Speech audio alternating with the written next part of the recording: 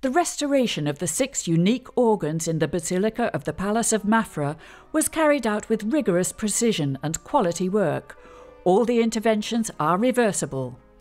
The jury states this project has resulted not only in the restoration of the organs, but also in the provision of an example for future generations of the perfect integration of movable items into immovable architecture.